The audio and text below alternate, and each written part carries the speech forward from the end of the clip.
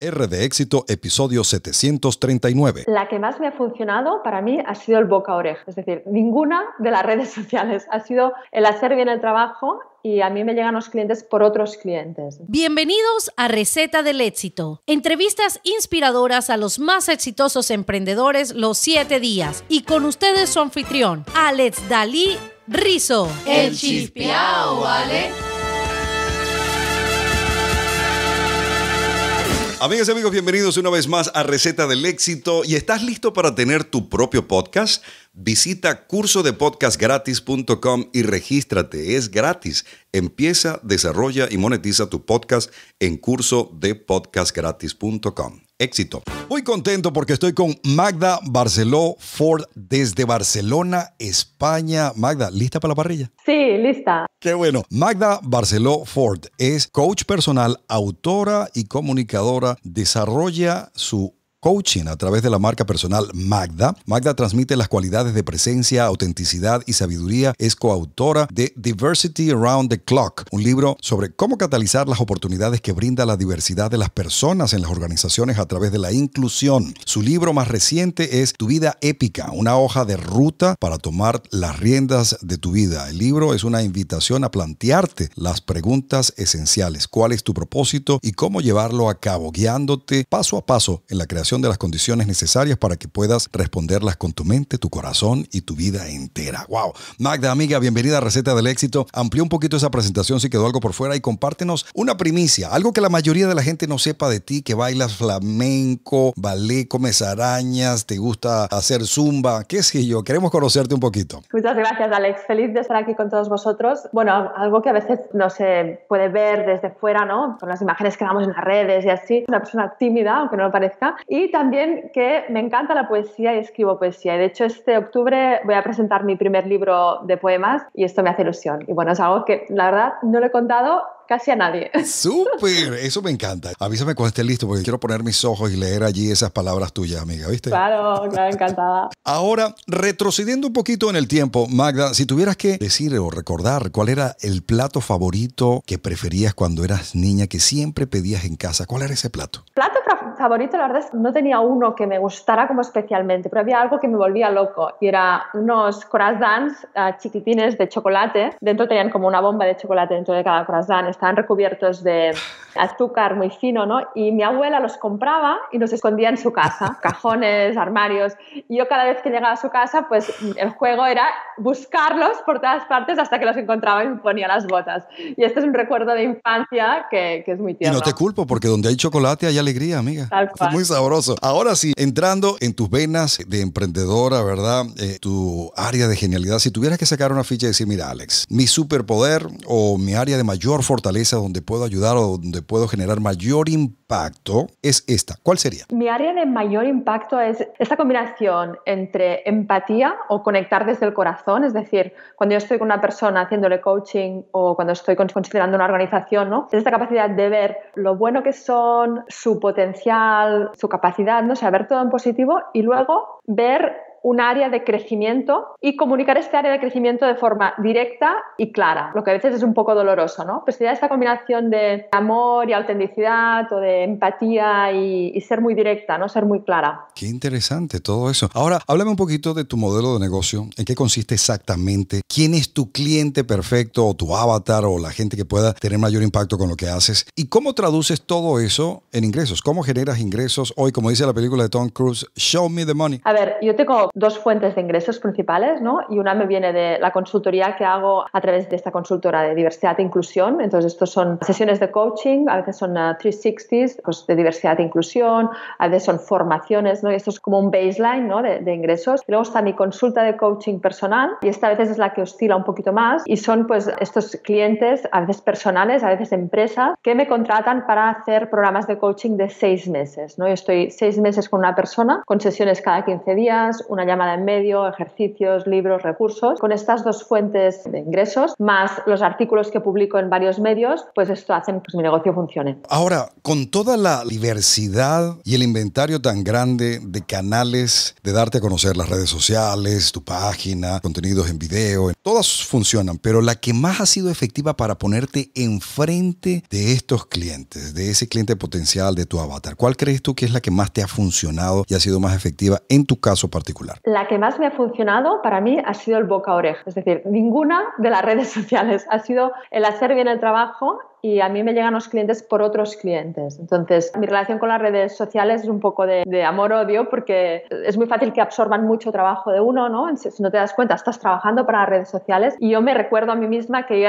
ya, trabajaba antes de las redes sociales, ¿no? Entonces, creo que también es importante tener un poco de sangre fría, ¿no? En relación a las redes sociales, ¿no? Que, bueno, son importantes, pero no son lo más importante. Entonces, a partir de ahí, dicho esto, lo que está siendo efectivo para mí son colaboraciones que yo tampoco he creado, sino que han venido a mí, ¿no? Pues me han llamado, hay un programa aquí en, en Cataluña que se llama El Ofici de Viura, que es un programa que lleva como 25 años, programa de radio, y ahora pues tiene el formato podcast y lo escucha muchísima gente, ¿no? Entonces a mí me invitaron, ahora soy colaboradora del programa y, esto pues es una cosa que me abre puertas, que pues la gente me conoce, entonces me llaman a partir de aquí. También colaboro con el medio 20 minutos, que es un diario digital y escribo un artículo semanal y bueno, pues por ahí también, ¿no? Pero también es difícil saber de dónde te viene cada cosa, ¿no? Es como que tú vas haciendo y luego te, te vienen las cosas, ¿no? ¿Y cómo se te ocurrió todo esto? Sabemos que, que hay una serie de eventos y una serie de cosas, pero y también que se nos ocurren 500 mil ideas en cada momento, pero no nos podemos casar con todas ni hacerlas crecer todas. En este caso, tú te estabas comiendo un croissant con chocolate en la mañana, te levantaste alguna hora y dijiste, wow, esto es lo mío. Cuéntanos el eureka, el momento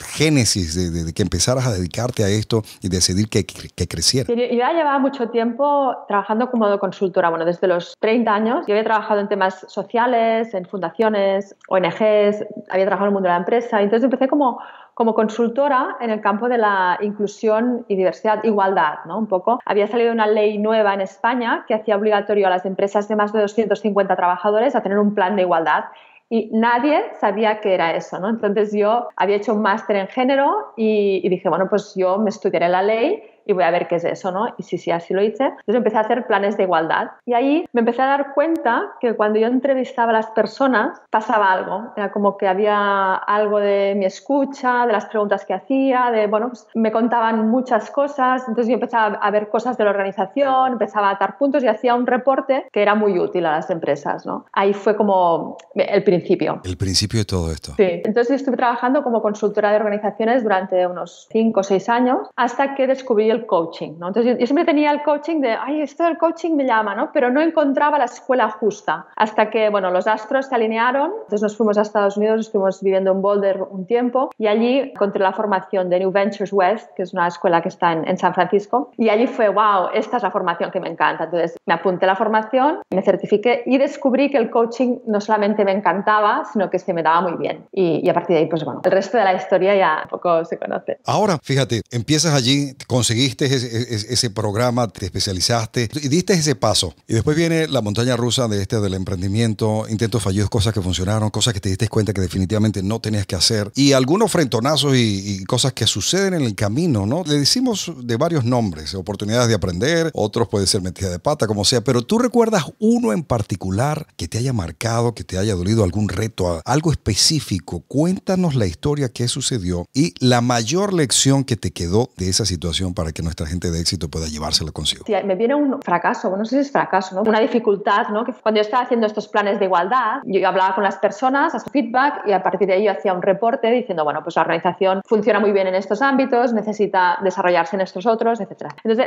allí yo era muy transparente, o sea, yo que recibía, pues lo organizaba, no ponía nombres y apellidos, pero sí que decía, pues bueno, las personas han dicho esto y lo otro y había unas, unas implicaciones, ¿no? Entonces, en uno de estos reportes, el feedback que recibí era bastante negativo, una empresa del ámbito social. Y bueno, cuando ellos vieron el reporte dijeron que, que no, que aquello era mentira, que, que no era posible que cómo me atrevía a hacer tal informe, ¿no? Entonces, bueno, ah, yo les dije que era la verdad, que no me había invitado nada y, que si no querían escucharlo, pues que tenían que haber contratado a otra persona, ¿no? Yo había trabajado ya bastante con, con, aquella empresa y después pues dejaron de trabajar conmigo, ¿no? Ahora en retrospectiva pienso sí que fue algo negativo, pero también me habla de mi superpoder, si quieres, superpoder este que tengo de, de ser súper honesta, muy sincera y que no voy a hacerte un reporte de algo que no es real. Y esto es lo que hace que las personas confíen en mí como coach y como consultora en otros ámbitos. ¿no? Entonces yo diría a los emprendedores ¿no? que estén intentándolo, que no se tomen tampoco los fracasos a pecho, ¿no? que a veces los fracasos es que significan que para este tipo de empresas o para este tipo de personas no vamos a trabajar, no van a ser nuestro público objetivo y ya está. Ahí está. Y forma parte del proceso, no tenemos por qué gustarles a todo el mundo y definitivamente gente de éxito, escucha las palabras porque esta parte es bien claro, esa, la conexión genuina con eh, las personas y todo lo que estás haciendo genera un impacto buenísimo, pero estoy seguro también, Magda, que tienes una colección de momentos sabrosos. Uno que te haya puesto la sonrisa de oreja a oreja así, tan elocuente que tienes, ¿verdad? ¿Qué pasaba? ¡Wow, Ale, es increíble que esté sucediendo esto! Como que es ver la luz clarita al final del túnel. ¡Qué emocionante! ¿Qué pasaba? Bueno, yo me emociono mucho con los procesos de coaching porque me encantan las personas, ¿no? Entonces,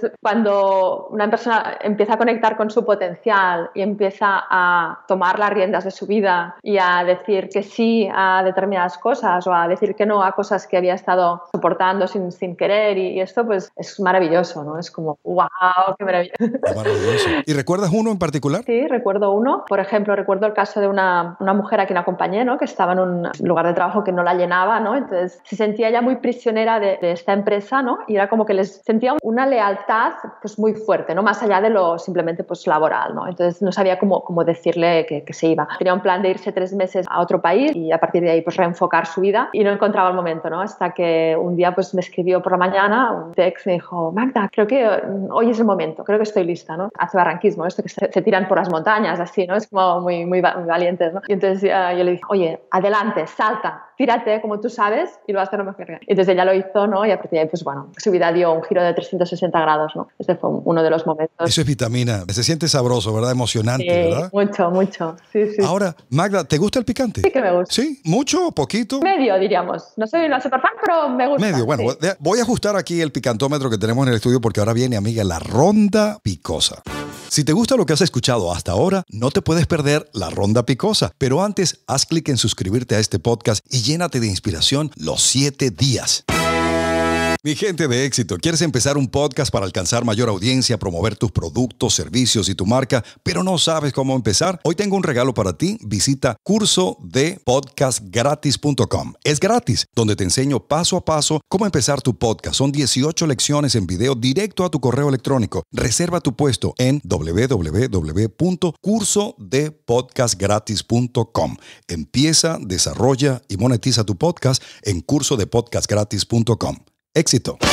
Magda, usualmente como emprendedores queremos hacerlo todos nosotros mismos para asegurarnos que quede bien hecho, porque si lo hacemos nosotros queda como queríamos, pero la verdad es que si queremos llevar el negocio al siguiente nivel, eso no funciona, hay que empezar a delegar para poder seguir creciendo. Ya conocemos una de tus grandes fortalezas y me encanta. ¿Cuál es objetivamente tu mayor debilidad o qué no se te da? No se me da bien el papeleo, lidiar con los papeles, facturas, esto soy un desastre y por suerte tengo una persona que, que me ayuda y se encarga ella. Una persona, una emprendedora o emprendedor que te guste el impacto que está teniendo con su producto, con su servicio, con sus cursos, con su emprendimiento en general, ¿quién sería? Bueno, pues una persona que está teniendo un impacto muy positivo sería el que está delante de este podcast que te llamaba, que se llama Gaspar Hernández, que tiene este podcast, El Oficio de Viura, está en catalán. Bueno, ahora es una persona que ha saltado a dar cursos y, creo que es una persona con un impacto muy positivo en el mundo. Además ha escrito muchos libros de los cuales han, han sido traducidos al español, así que si alguien quiere curiosear, pues Gaspar Hernández. Una aplicación o una herramienta en línea que sea de tus favoritas usada y probada por ti que quieras recomendar a nuestra audiencia gente de éxito? Me encanta el Canvas, es una herramienta para hacer todo el, tema de gráficos de redes sociales, pero para hacer también un currículum, informes, libros online. ¿Tu siguiente gran paso cuál es? Es un libro que estoy escribiendo ahora que junta a coaching y poesía. El mejor consejo que has recibido hasta hoy como emprendedor. Cree en ti. Cree en ti. ¿Tu hábito de oro? Meditar a principio del día unos 20 minutos. Un libro que te haya impactado que quieras recomendar. Un libro de coaching se llama The Prosperous Coach de Litvin. Mi gente de éxito, sé que amas consumir contenido en formato de audio y por eso me uní a Audible o Audible. Así que si aún no lo has hecho, puedes tener el primer audiolibro de tu preferencia totalmente gratis. Solo visita recetadelexito.com diagonal audiolibro y tendrás tu primer audiolibro gratis. recetadelexito.com diagonal audiolibro. Magda, amiga, ¿a que no adivinas a dónde llegamos? Al final.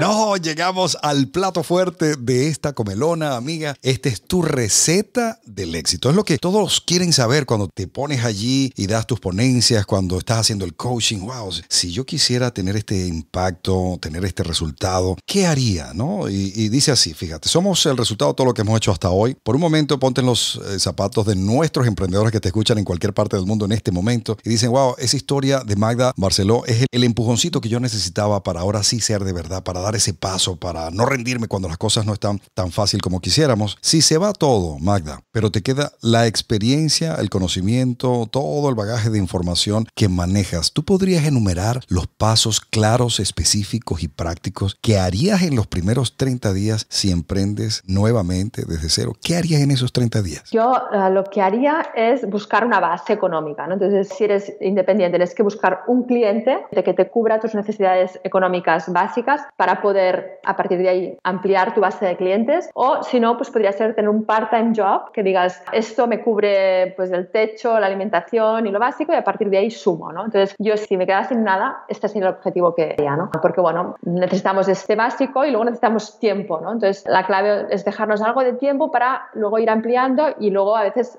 este part-time job pues lo vamos a dejar, ¿no? Es cuando tengamos la red de clientes desarrollada, pero es una base muy importante. Mi gente de éxito, ahí está la receta completa de Magda Barceló. Magda, podríamos hablar aquí horas de esto, ¿verdad? Porque nos encanta el tema, además que tiene muchísimas vertientes y mucha tela que cortar en esta dirección. Y estoy seguro que mucha gente también va a querer continuar esta conversación contigo y entrar en tu ecosistema. ¿Cuál es la mejor forma de conectar contigo, de entrar a, tu área, ¿verdad? Y luego una frase de éxito, amiga, y nos despedimos forma de conectar conmigo sería en mi web, magdabarcelo.com o mandándome un mail a hola.magdabarcelo.com. En las redes sociales podéis contactar por múltiples fuentes. ¿Y tu frase de éxito? Mi frase de éxito es una frase que un buen amigo que era autor, compositor, era artista, pintaba y se murió hace unos años, Peter Hasson, con un gran corazón, y él se hizo una vez unas tarjetas de visita, ¿no? Ponía You are the best, lo regalaba a sus amigos. Pues recuperando esa bendición de mi amigo sería el creerte de verdad, ¿no? los emprendedores que nos estáis escuchando, creeros de verdad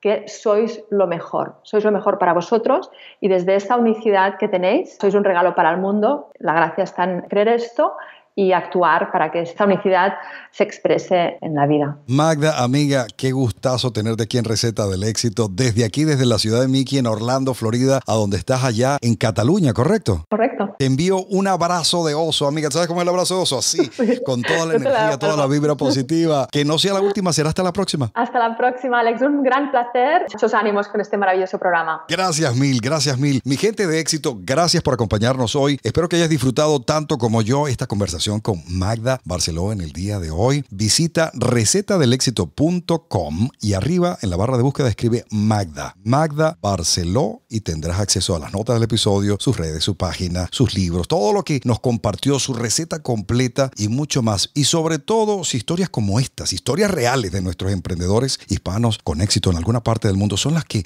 conectan contigo, con tu vena de emprendimiento, para que tengas mayores herramientas, otros puntos de vista, otras recetas que podrían conectar contigo, entonces es el momento de tomar acciones aquí y ahora. Comparte esta información, esta conversación con alguien que pueda necesitarlo. Haz clic en el botón de suscribirte a este podcast, pero sobre todo llénate de inspiración los siete días. Gente de éxito, hasta mañana. Les habló Alex Dalí Rizo. El ¿vale?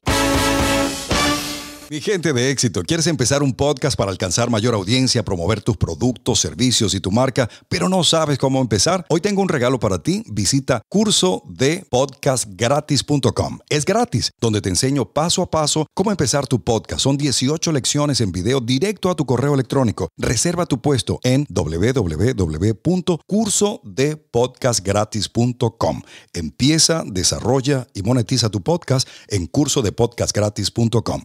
Éxito.